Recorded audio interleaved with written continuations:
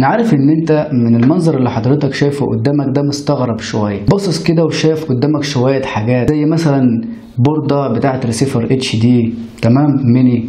إيه بوردة بتاعت receiver mini عادي. إيه adapter 12 فولت واحد أو 2 أمبير مش هتفرق. هنعرف الكلام ده قدام. ريسيفر عادي ميني برضو. إيه power بتاع ريسيفر متعدد. بوردة شاشة.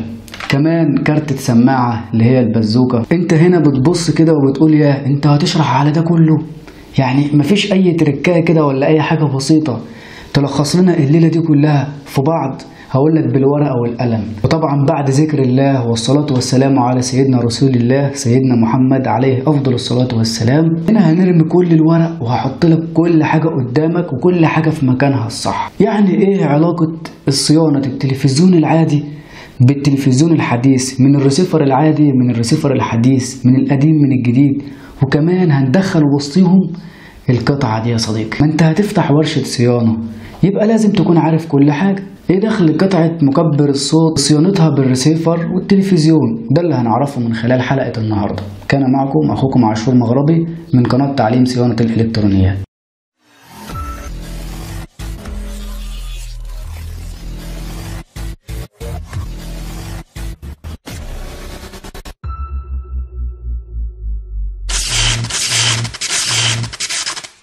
ورجعنا لكم بعد الفاصل. هنجيب الأفوميتر الجميل بتاعنا ونسمي الله ونبدأ أول حاجة في مين؟ في ال power يا صديقي.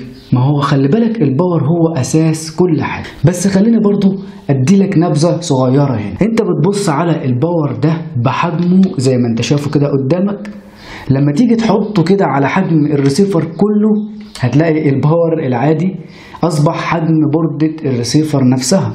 تمام. وزي ما أنت شايفهم كلهم قدامك في سر موجود جوه كل قطعة من دول والسر ده بيربطهم كلهم ببعض. ولو انت عرفت السر ده يبقى كل الحاجات دي بالنسبة لك أصبحت شيء عادي جدا. هتقدر تتعرف على كل حاجة فيهم. هتقدر تصينهم بكل بساطة. مش هتعرف تفرق ما بين ده ولا ده.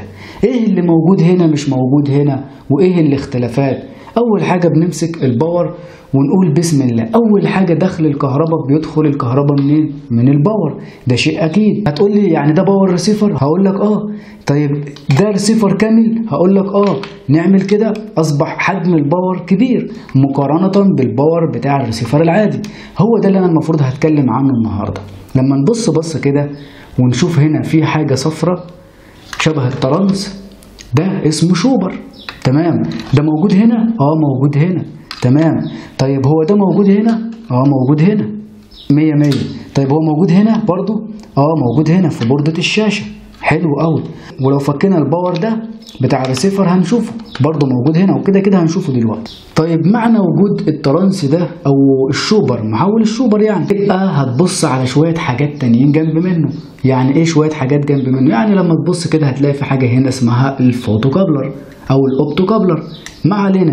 ال photocoupler هتلاقيه موجود في ال power ده أيضا. تمام. هتلاقيه موجود برضو في القطعة دي.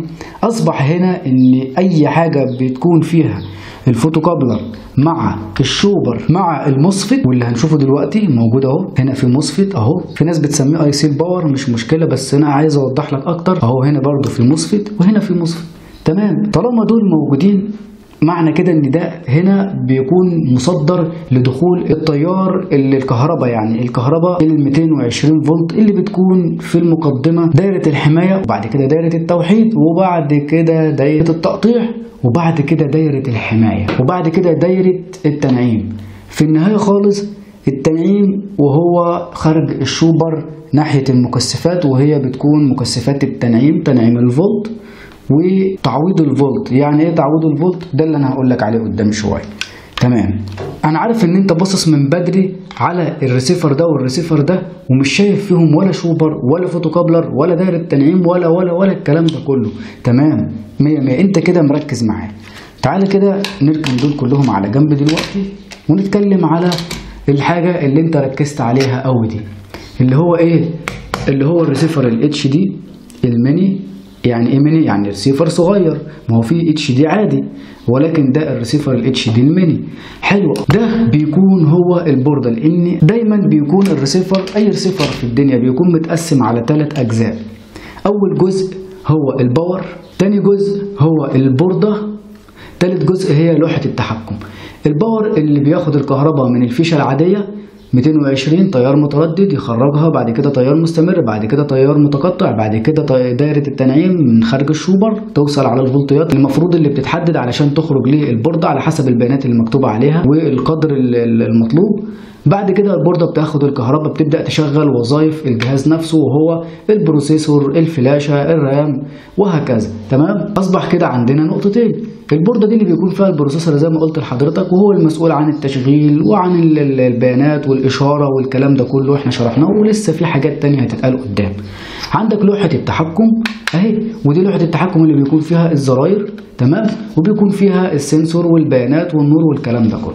يعني كده إيه؟ يعني كده أهي الريسيفر قدامك عليه ثلاث قطع فقط لغير واحد اتنين تلاتة وبعد كده شغل وسمي الله عندنا هنا قطعتين التالتة فين؟ التالتة وهي العدسة أو السنسور الخارجي العادي.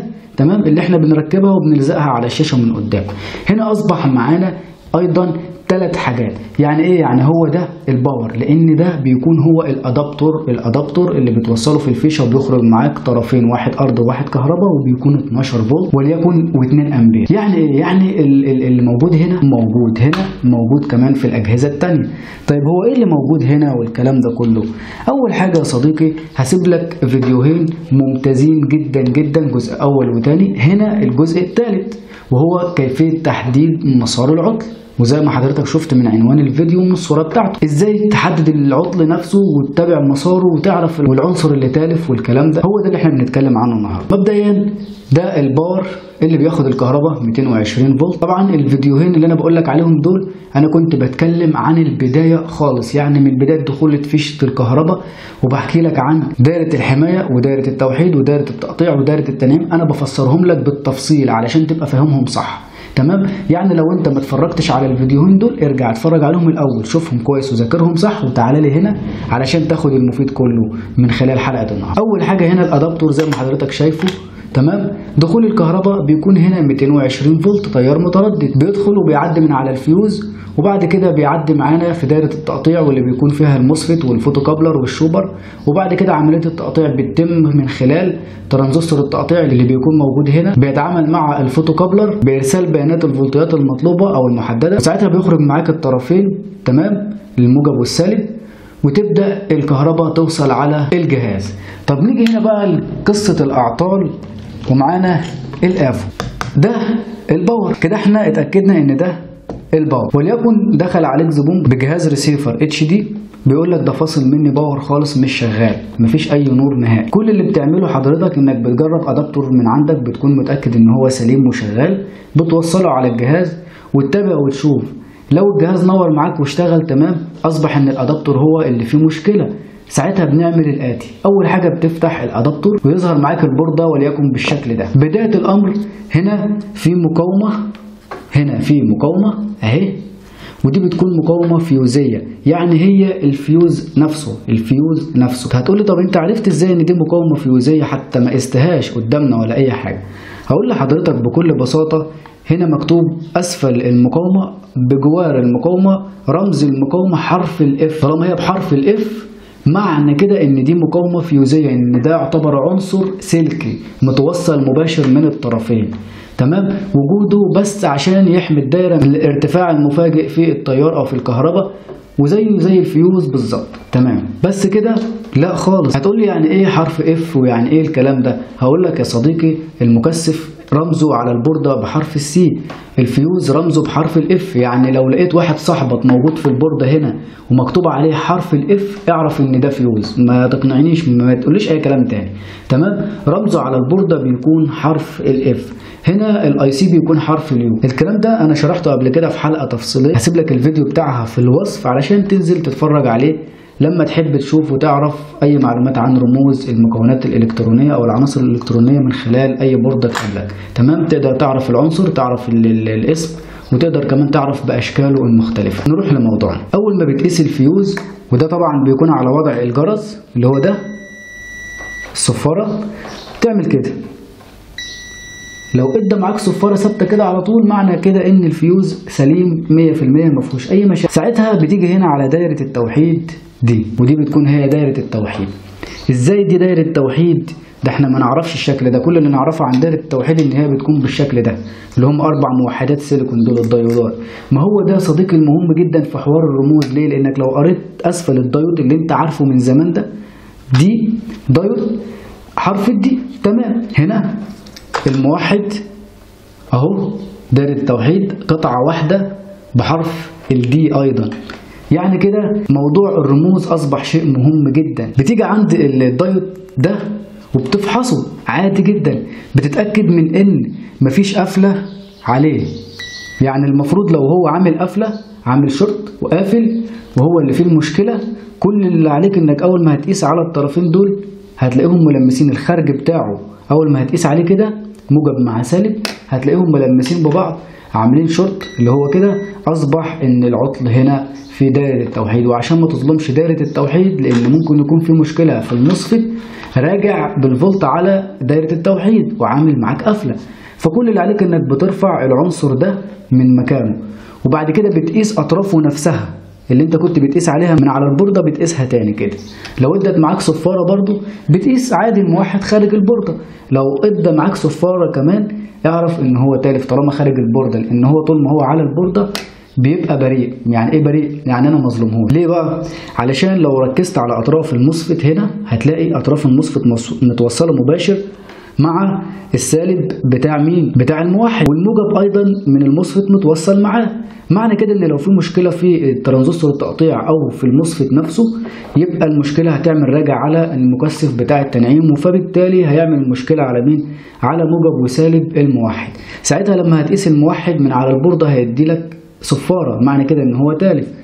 ساعتها لما هترفعه وتقيسه لوحده لو ادى معاك صفارة فعلا يبقى هو فعلا بايظ وهتغيره بواحد جديد ولو ما اداش معاك صفارة يبقى المشكلة فين؟ على البورده ساعتها لما هترجع وتقيس الأطراف من هنا هتلاقي الصفارة ما زالت موجودة. ساعتها هتعرف إن المصفت هو السبب ما هو مفيش كلام تاني. هو اللي بعد كده. يبقى كده أنت قدرت تحدد العطل أو العنصر. هتقول لي يا نهار أبيض يعني أنت تعب نفسك وهري وكلام كتير جدا على الادابتر اللي هو أصلا مش غالي ومش مكلف؟ هقول لك لا اطلاقا. هقول لك أنا ليه بشرح على الادابتر ده لسببين.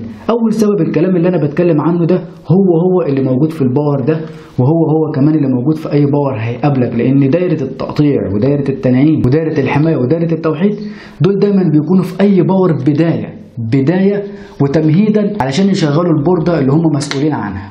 تمام؟ يعني إيه يعني؟ ده رسيفر متكامل أهو كلهم مع بعض. ده ال power. ال power متقسم على كذا جزء. جزء دايرة الحماية وجزء دايرة التوحيد وجزء دايرة التقطيع. تمام؟ وجزء دايرة التنعيم. الدوائر دي كل دايرة بتشتغل بنظام معين وزي ما قلت لك قبل كده في الفيديوهات اللي فاتت. كل نظام بيكون مسؤول عن حاجة معينة تمام؟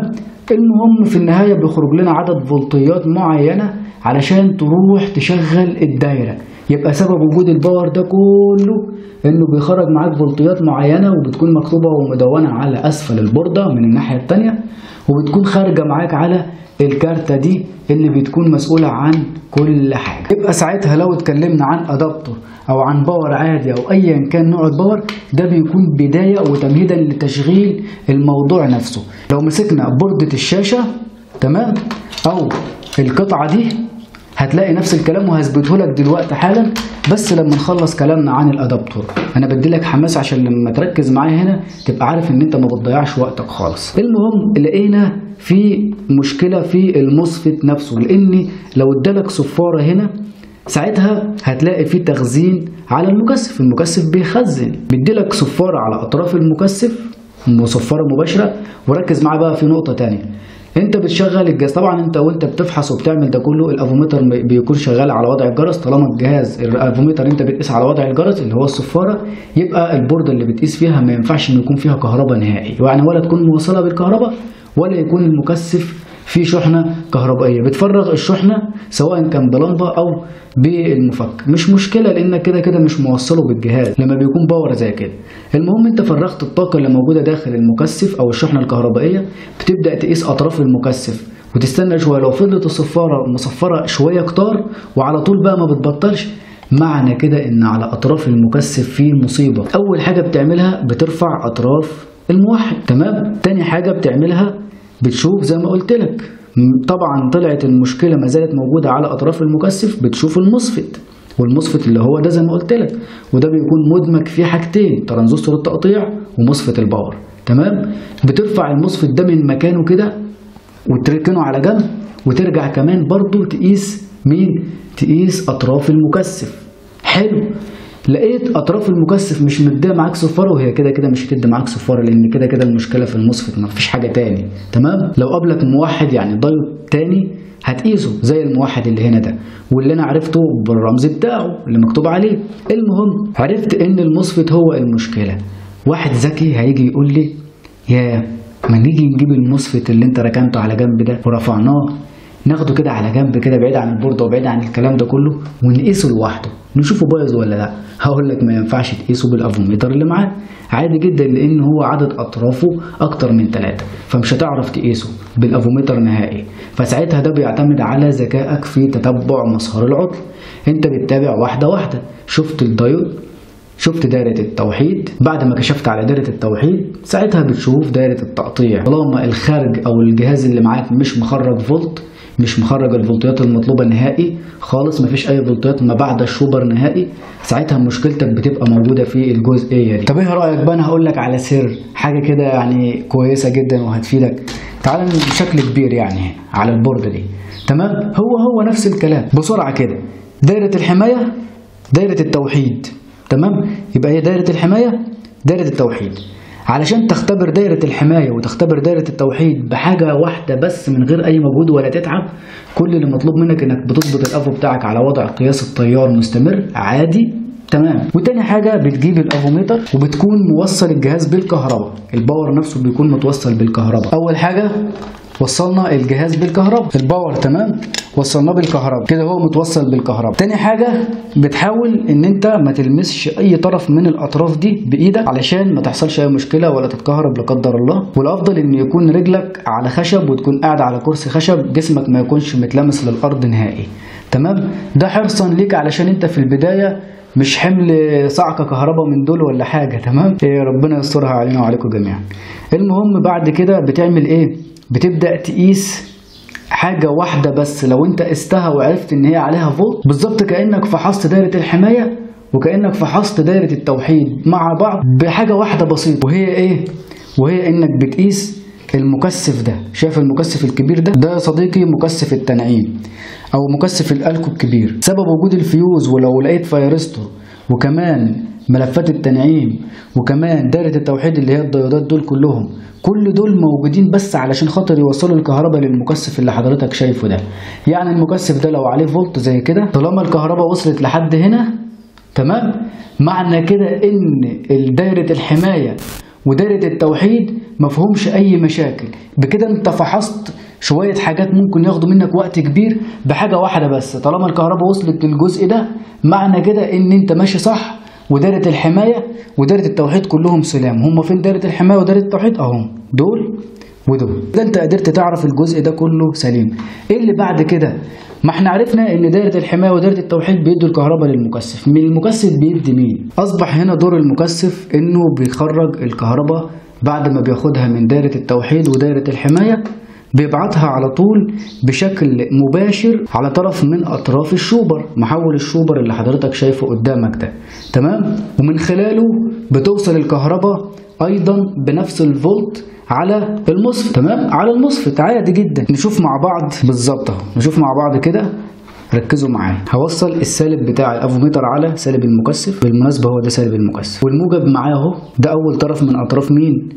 محول ال chopper. أول طرف من أطراف محول ال chopper وتابع معايا المسار كده يا صديقي يا رب يكون كله ظاهر في الكاميرا. أهو. هنا كده. أهو. تمام. لما أنا همشي كده على القطعة الخضراء دي هي القطعة دي كلها متوصلة ببعض مباشر ولكن عليها ثلاث عناصر. أدي واحد اتنين تلاتة. ده لو ركزت عليه من الناحية التانية هتلاقيه مكثف وهوريهولك دلوقتي. والطرف التاني ده هو طرف من أطراف محول الشوبر. والطرف الأخير ده هو طرف من أطراف مقاومة بتكون متوصلة على ترانزستور التقطيع. حلو كده؟ يبقى كده معانا كام؟ تلاتة. ده مكثف سيراميكي ما يشغلكش خالص ما تحطوش في دماغك. تمام؟ هنا طرف من أطراف ال chopper ركز عليه كويس. هنا طرف من المقاومة ولو ركزت معايا هنا 300 فولت رايحة على ترانزستور التقطيع زي ما حضرتك شايفها كده من 2 ل 3 فولت. هنا طرف آخر من أطراف ال chopper عليه كام؟ عليه 315 فولت. يعني هي هي الفولت اللي هنا هو الفولت اللي هنا. بالمناسبة الفولت ده رايح على مين؟ على طرف دخول الكهرباء لل MOSFET. أمين. هنا في طرف أيضا أهو. لو ركزت عليه ده اللي جايب إيه؟ اللي جايب سالب. ما هو هنا ده سالب ده سالب أهو الأخير ده. سالب لو ركزت عليه سالب ال chopper ذات نفسه. ال chopper دخله كهرباء من هنا ودخله سالب من هنا. طب ده كلامي؟ لا. ركز معايا على الطرف ده كده وشوفه رايح فين؟ رايح فين؟ رايح فين؟ جه عندي اهو. جه عندي بالظبط وأنا بقيس. يعني كده أنا ماشي إزاي اهو؟ اهو خلاص يا عم مش هنيجي من هنا هنمشي من هنا هناخد اللفة دي. رايح بينا على طرف من اطراف ال MOSFET تمام؟ ورايح بينا برضو كده تاني اهو. على طرف من أطراف ال photocoupler كل ده خط الأرضي. لازم تبقى عارف المسار. أرضي وكهرباء يعني. موجب وسالب. المكثف ماشي بينا كده أهو. أهو. راح على طرف من أطراف المصفت ومشي تاني كده أهو. على طرف من أطراف الفوتوكابلر. زي الفل هنا. نرجع بالخط ده تاني كده. ونجيبها تاني كده. مش هنمشي كده بقى إحنا هنمشي في الشارع ده كده. هناخد الشارع ده هتلاقيه موصلنا من على طرف من أطراف إيه؟ من أطراف الشوبر. يعني ده سالب وده موجب. مية مية. إحنا كده لحد دلوقتي متفقين وزي الفل. تعال سهلها لك شوية. اظبط الافومتر على وضع الجرس. الصفارة يعني. تمام؟ وعد أربع أطراف هتلاقيهم أربعة اللي هما ما قبل الشوبر. تمام؟ واحد اتنين تلاتة أربعة. الاتنين دول بيكونوا هما الاتنين كهرباء. والاتنين دول بيكونوا هما الاتنين أرضي. حلو؟ دخول يعني الكهرباء ودخول الموجب ودخول السالب لمحول ال chopper. ساعتها بيكون هنا إيه؟ بيكون هنا ال photocoupler. هتقول لي طيب لحد هنا وحلو قوي في كهرباء موجودة على أول ملف من ال chopper وكهرباء موجودة على الطرف الثاني وفي أرضي وفي أرضي. حلو؟ تمام. هتقول لي طب ما كل ده موجود عندي ومع ذلك الجهاز مش مخرج فولت من محول الشوبر. يعني خارج الشوبر هنا اللي المفروض إحنا محتاجينه هنا مش موجود نهائي. نعمل إيه؟ والمشكلة بتكون فين؟ بكده انت طالما لقيت فيه فولت على المكثف معنى كده ان المكثف ودائرة التوحيد ودائرة التنعيم سليمة ودول تشيلهم من دماغك. إحنا قلنا إيه؟ قلنا أربع حاجات. أول حاجة بتكون دايرة الحماية. تمام؟ واللي بيكون فيها التيار متردد. تاني حاجة بتكون دايرة التوحيد. توحيد الفولت. تمام؟ تالت حاجة بتكون هي دايرة التقطيع. ماشي؟ دايرة التقطيع. وآخر حاجة بتكون هنا دايرة التنعيم. كويس. يعني هنا دايرة الحماية ودايرة التوحيد أصبح الاتنين دول بمجرد ما لقيت فيه فولت على المكثف موجب وسالب أصبح إن الاتنين دول سلام وتشيلهم من دماغك نهائي. أصبح معانا هنا دايرة التقطيع. دايرة التقطيع. دايرة التقطيع دي يا صديقي هي اللي بيكون فيها المشكلة. هتقولي طيب ودايرة التنعيم؟ دايرة التنعيم دي فايدتها إيه؟ أقول لك دايرة التنعيم دي في الآخر دي بتكون ما بعد الشوبر ناحية المكثفات هم دول اللي بيكونوا مسؤولين عنها. ولكن المشكلة مش فيهم نهائي. ليه؟ لأنك بكل بساطة إن ده أصلا دايرة التنعيم. دي بتكون هي دايرة التنعيم. الموحدات دي والمكثفات دول بيكونوا مسؤولين عن إن هم نقدر نسميهم دايرة التنعيم. كل اللي عليك إنك بتقيس الموحدات دي كلها. لو طلعت معاك سليمة أصبح إن دايرة التنعيم عندك سليمة طالما ما فيش أي خارج فولت نهائي. حتى خارج من الموحدات بعد ما بيكونوا سلاب معنى كده إن دايرة التنعيم سليمة. يبقى كده المشكلة كلها في مين؟ في دايرة التقطيع. تمام؟ دايرة التقطيع دي زي ما قلت لك بيكون أساسها ال photocoupler وال MOSFET. تمام؟ أيضا أي ترانزستور ال- ال- التقطيع اللي بيكون موجود في ال MOSFET ده ليه دور كبير جدا في الموضوع ده على فكرة. وهو إيه؟ وهو إن لو في مشكلة لأن ده مدمج فيه ترانزستور التقطيع وفي ال MOSFET في قطعة واحدة هما الاثنين في قطعة واحدة. يعني داخل دي ترانزستور التقطيع اللي بيكون مسؤول عن عملية تقطيع الفولت وإخراجه من المكثف على محول ال chopper علشان محول ال chopper يخرج الفولت عن طريق المجال المغناطيسي ويخرجه لك من الناحية دي. ساعتها بيخرج معاك على مين؟ على الموحدات وبعد كده المكثفات ويخرج معاك الفولت. طالما خرج الفولت يبقى المشكلة كده اتحلت.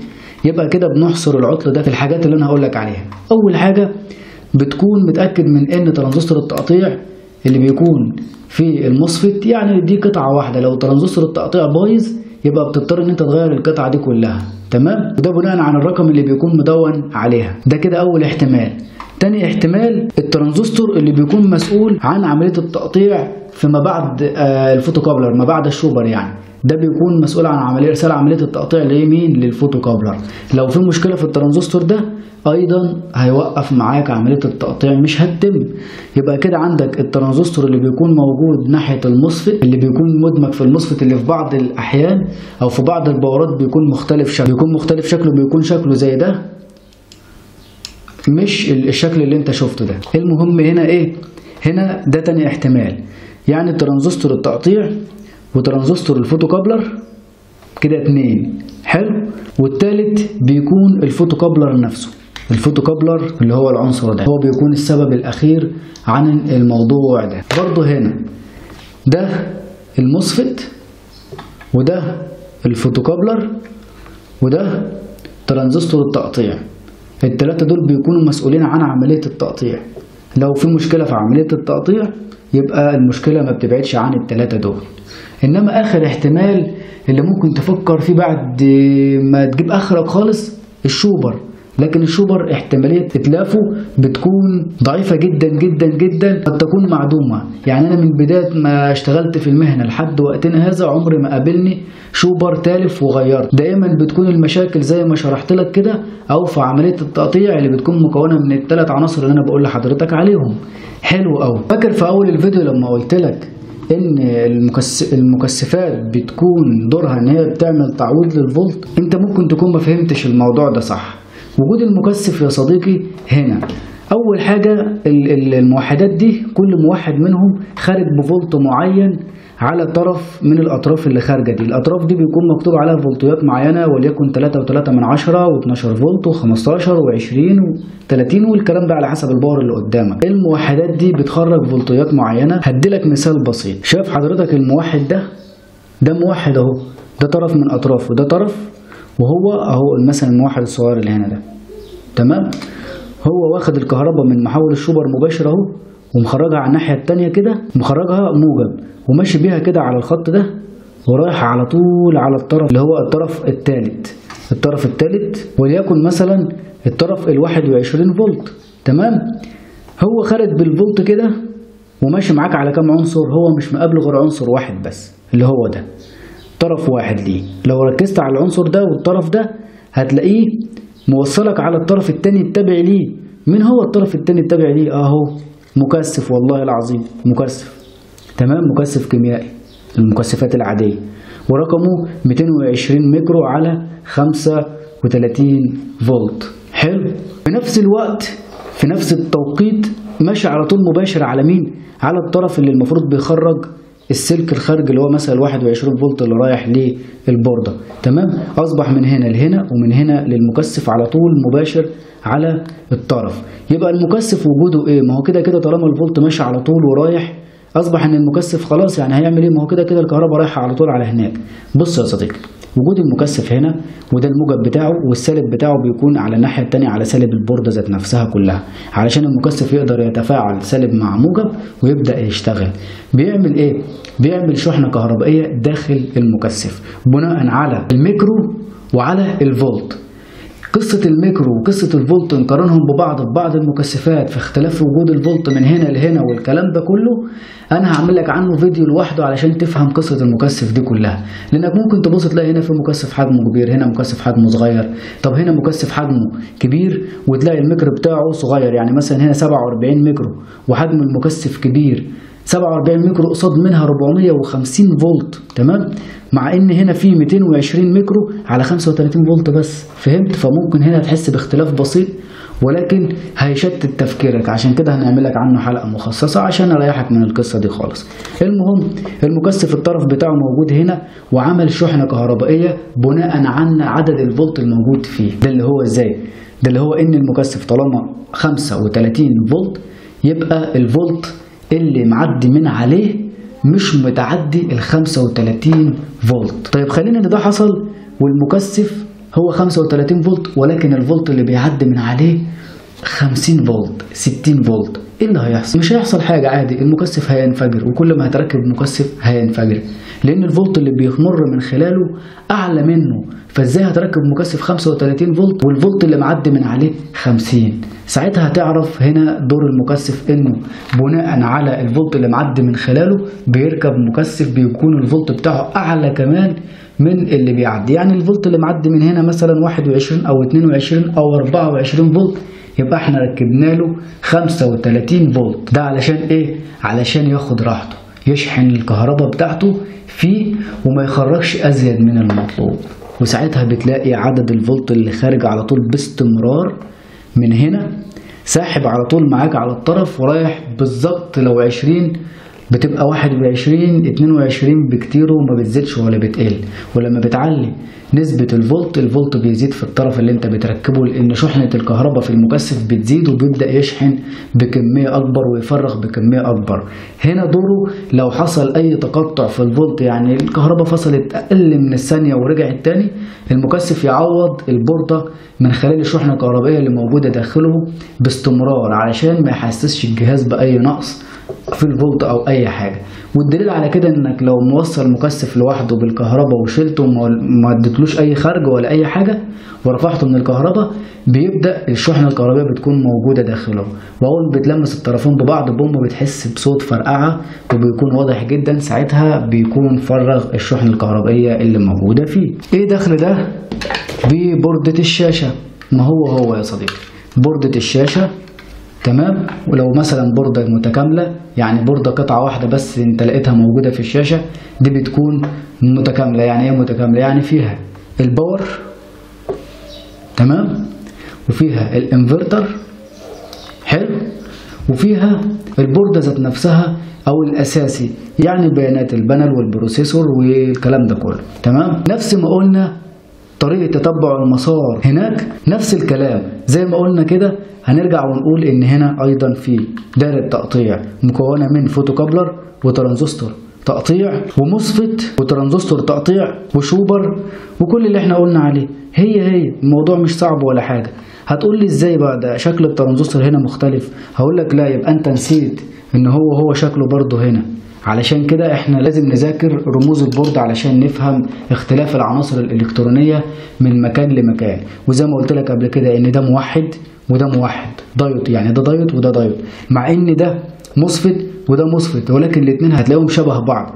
واللي بيختلفهم عن بعض هو إيه؟ هو الرمز اللي بيكون مكتوب على البوردة ولما نجيب برضو الدايرة دي بتاعت الصوت تمام؟ دي طبعا بتشتغل ب 220 فولت. من هنا 220 فولت على المفتاح على الفيوز طبعا هنا دايرة التوحيد اهي كويس. وبتيجي هنا على دايرة التقطيع اللي بتكون مكونة من ال MOSFET بترانزستور التقطيع وكمان ال photocoupler. وبيكون كمان هنا موجود فيه diode Zener. المهم بيكون في دايرة تقطيع أيضا في الجزئية دي. معنى كده إنك لو ذاكرت دايرة التقطيع دي كويس ودايرة الحماية ودايرة التوحيد ودايرة التنعيم هتقدر تعرف الدخول دي بوابة الدخول على عالم الإلكترونيات. وبكده نكون وصلنا لنهاية حلقة النهاردة. يا رب ما تنساش تعمل لايك للفيديو وتعمل اشتراك في القناة وتفعل زر الجرس وتستنى مني كل الفيديوهات الجديدة. وأنا طبعا بعتذر لحضراتكم على الوقت الطويل اللي أنا خدته منكم ده. أشوفكم في فيديو جديد على خير. وشكرا. والسلام عليكم ورحمة الله وبركاته.